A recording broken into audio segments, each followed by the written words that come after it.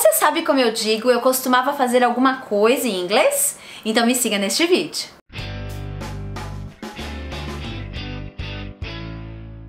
Hello, tudo bem com você? No vídeo de hoje, então, eu vou te ensinar como é que eu digo que eu fazia alguma coisa e que eu não faço mais. Algo que eu estava acostumada e que não estou mais. Por exemplo, I used to play at the playground. Então eu costumava brincar no parquinho. Hoje eu não faço mais isso. When I and my brother were children, we used to go skating in winter. Quando eu e meu irmão éramos crianças, nós costumávamos brincar, nós costumávamos ir patinar no inverno. E é verdade isso. Olha só, o que mais que eu posso dizer que costumava fazer e que não faz mais? My father. My father used to smoke. Now he doesn't smoke anymore. Então meu pai costumava fumar e agora ele não fuma mais. Por exemplo, o Zico costumava jogar futebol. Não é verdade isso? Então, Zico used to play soccer. Ele costumava jogar futebol, ele era um jogador. Agora ele não é mais, ele é um técnico, ele é um coach. Outra situação que eu posso dizer também. Maria used to go to work by bus. Então ela costumava ir pro trabalho de ônibus. Now she goes on foot. Agora ela vai a pé, porque é mais perto, certo?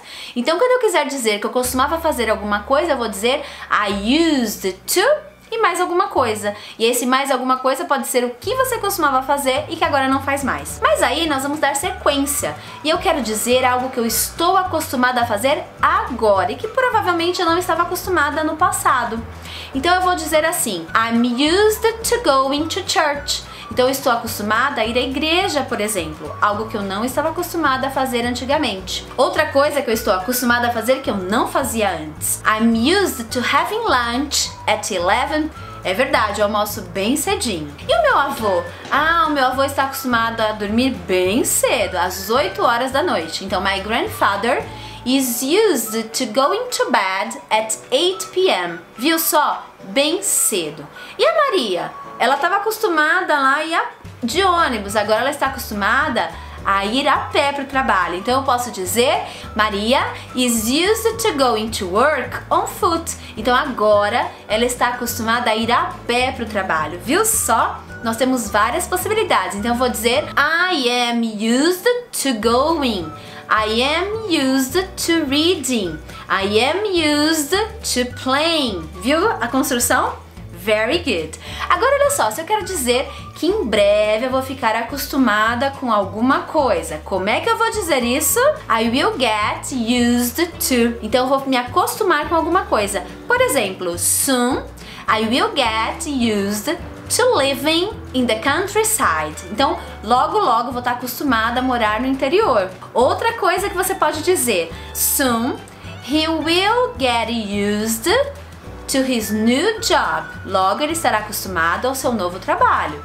Outro exemplo, hum, vai levar um tempo para eu me acostumar a acordar cedo. Então, it will take me a long time to get used to waking up so early. Viu só? Nós temos então três possibilidades. A primeira, que eu estava acostumada que eu não faço mais. Então, I used to go to work at night. Exemplo 1. Um. Exemplo 2.